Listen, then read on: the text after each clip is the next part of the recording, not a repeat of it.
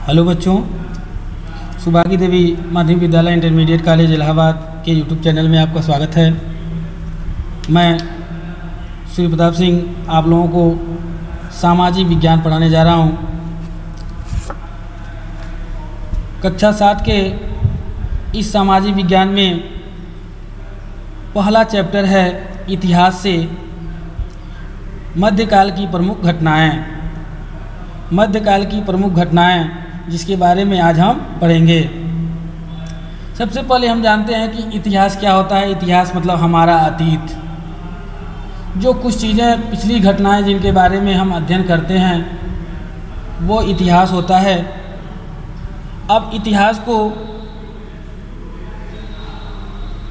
तीन भागों में विभाजित किया गया है। यानी मध्यकाल का अर्थ। इतिहास प्रायः तीन भागों में विभाजित किया जाता है। यानी प्राचीन काल, यानी प्राचीन युग, मध्यकाल, यानी मध्य युग तथा आधुनिक युग, यानी आधुनिक काल। अतः प्राचीन काल और आधुनिक काल के बीच का युग को मध्यकाल कहते हैं। मध्यकाल के आरंभ और अंत के विषय में इतिहासकारों ने किसी एक निश्चित वर्ष या दशक का प्रयोग नहीं किया, क्योंकि किसी भी युग का आरंभ और अंत सनय सनय, यानी धीरे धीरे होता है। जब कुछ विशिष्ट सामाजिक और राजनीतिक परिवर्तन होते हैं, फिर भी ईसा की आठवीं सदी के मध्यकाल का आरंभ तथा अठारहवीं सदी को इसका अंत माना जाता है। इसका कारण यह है कि आठवीं शताब्दी के आसपास भारत के सामाजिक जीवन में बहुत से परिवर्तन हो रहे थे। इन सामाजिक परिवर्तनों का जीवन के राजनीतिक और आर्थिक पक्षों का का भी प्रभाव पड़ा।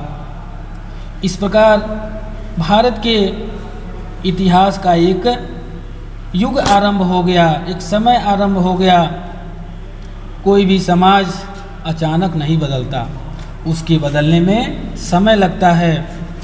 नए विचारों से समाज के सभी व्यक्ति एक साथ प्रभावित होते हैं।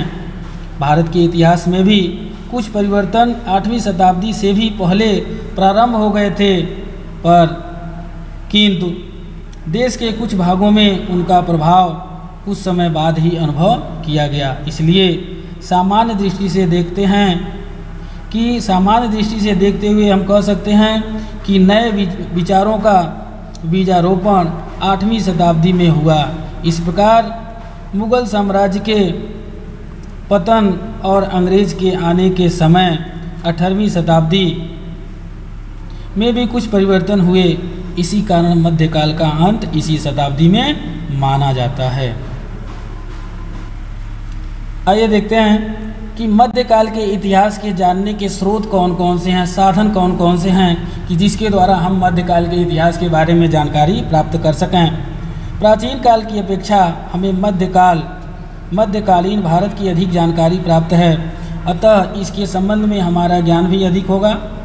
अधिक है, मध्यकाल हमारे अधिक निकट है। अतः इस काल का इतिहास जानने के लिए अनेक साधन मिलते हैं।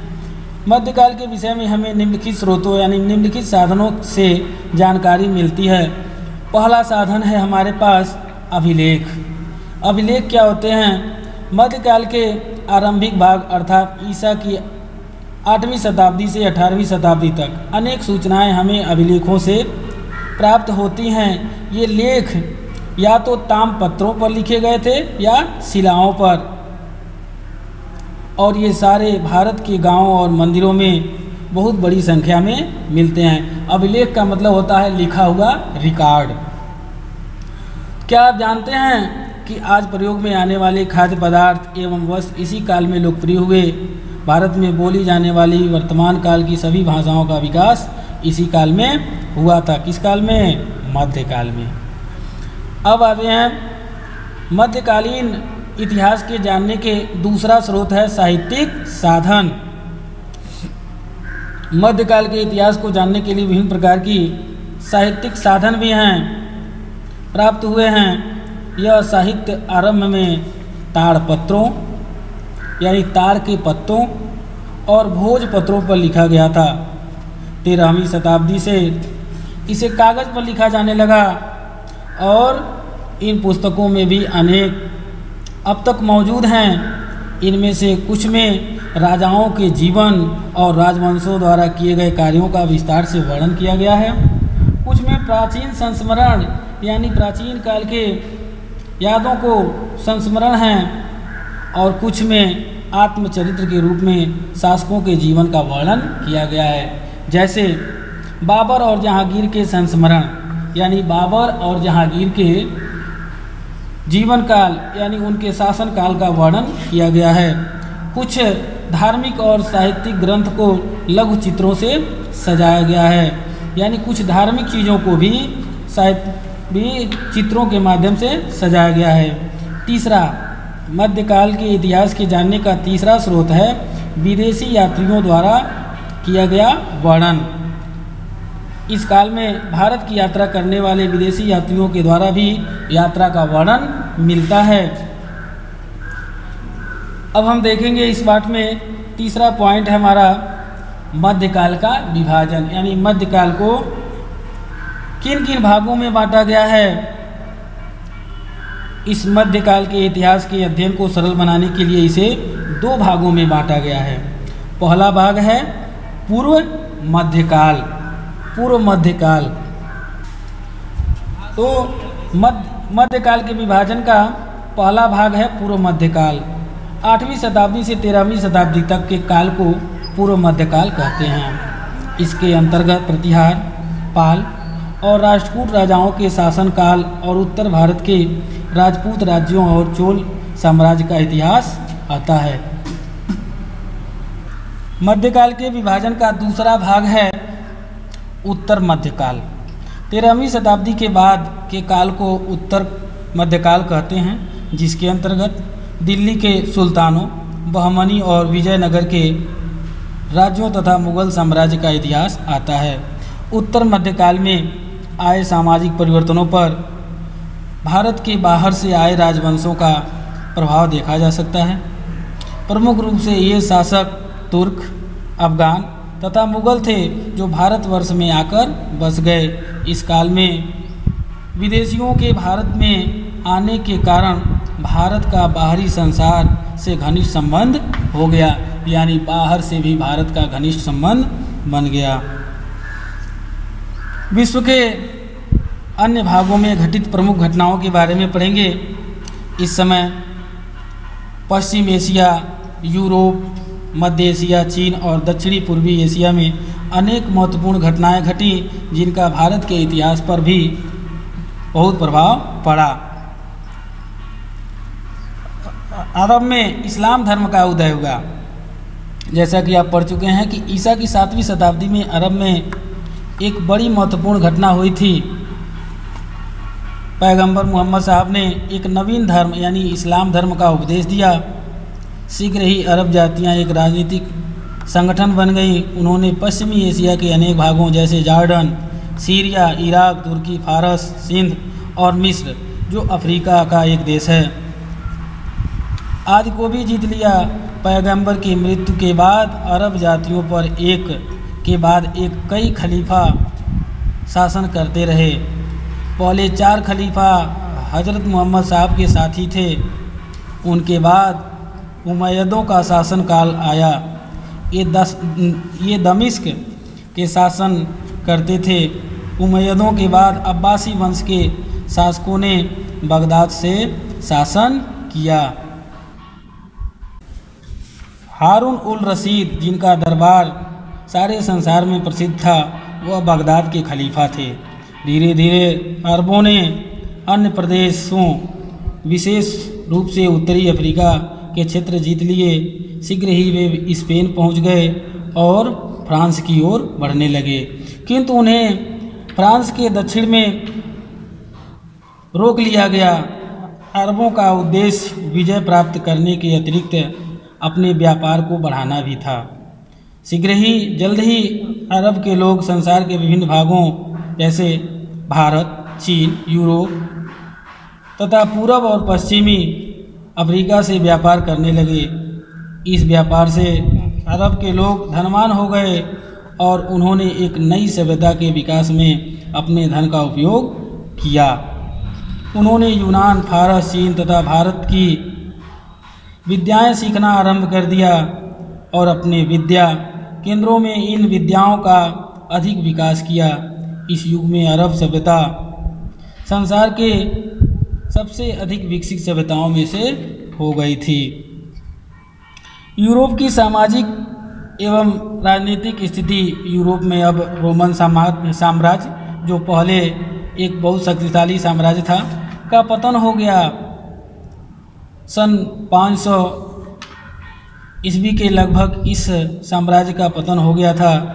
इसके कारण यूरोप की बड़ी हानि हुई। बहुत बड़ी नुकसान हुई। लगातार युद्धों के कारण यूरोप में राजनीतिक सुरक्षा नहीं थी। नियम और कानून का कोई व्यवस्था नहीं था। कभी कभी वहाँ के किसानों का अनाज भी लूट लिया जाता था और व्यापार की अवनति के कारण, यानी व्यापार में नुकसान होने के कारण यूरोप के बड़े बड़े नगर, जो शहर थे उनका भी पतन हो गया। ज्ञान का महत्व तो बहुत कम हो गया क्योंकि साधारण व्यक्तियों को शिक्षा प्राप्त करने की सुविधा नहीं थी। ज्ञानार ज्ञानार्जन यानी विद्या अध्ययन के लिए, अपने ज्ञान का अर्जन करने के लिए धार्मिक केंद्रों, मठों और ईसाई गिरजाघरों तक ही सीमित रह गया। इस समय ईसाई धर्म का प्रचार हुआ। जर्मनी के कुछ राजाओं ने ईसाई धर्म के प्रचार का में अपना उत्साह दिखाया और दसवीं शताब्दी ईस्वी में जर्मनी, इटली तथा कुछ अन्य क्षेत्रों को मिलाकर एक साम्राज्य की स्थापना की गई, जो पवित्र रोमन साम्राज्य कहलाया। इस दौरान यूरोप में हुआ दूसरा प्रमुख परिवर्तन। यूरोप में जो दूसरा परिवर्तन हुआ उसे सामंतवादी व्यवस्था कही गई, यानी उस व्यवस्था से सामंतवादी व्यवस्था की उत्पत्ति हुई। फ्यूटलिज्म शब्द, यानी जो लैटिन भाषा के फ्यूडम शब्द से बना है, जिसका अर्थ होता है ज़मीन का एक टुकड़ा, जो किसी सेवा के बदले दिया गया होता है। राजा जो होता है, वह अधिकारियों को नगद देने के बदले ज़मीन देता था। ज़मीन उन लोगों को दी जाती थी जिनको राजा पुरस्कृत करना चाहता था। और उन लोगों को सामंत कहा गया। किसानों को इन सामंतों की ज़मीन पर काम करना पड़ता था। सामंत का कर्तव्य राजा के लिए सेना एकत्र करना। सामंत किसानों के साथ बड़ा बुरा व्यवहार करते थे। भूमि पर किसान श्रमिक, यानी परिश्रम करते थे। परंतु धन का वितरण समान नहीं किया जाता था। उपज का अधिक हिस्सा सामंत ले लेते थे। राजा और सामंत विलासपूर्ण जीवन व्यतीत करने लगे और किसान गरीब हो गए। धीरे धीरे यूरोप के निवासी अरब देशों में व्यापार और धर्म के कारण रुचि लेने लगे। व्यापार के कारण कुछ लोग धनवान हो गए। इसलिए यूरोप के लोग भी व्यापार से धनवान बनने की बात सोचने लगे। और व्यापार में रुचि लेने लगे। यूरोप में नए बने ईसाई धर्म के प्रचार से चिंतित थे। इसके कारण अनेक धर्म युद्ध भी हुए। इन धर्म युद्धों को क्रूसेड कहते हैं। इन युद्धों में यूरोप के राजा और वीर सरदार अपनी अपनी सेनाएँ लेकर पूर्वी मध्य सागरीय प्रदेशों में अरब तथा तुर्कों से लड़ने जाते थे। इन युद्धों से भूमि प्राप्त करने में तो उन्हें सफलता नहीं मिली। परंतु इससे ये लोग अरब लोगों के साथ अधिक संपर्क में आए और वे अरब व्यापार में भाग लेने लगे। पंद्रहवीं और सोलहवीं शताब्दी में यूरोप में विद्या का विकास करने में अरब वासियों ने के ज्ञान का महत्वपूर्ण योगदान है। धन्यवाद।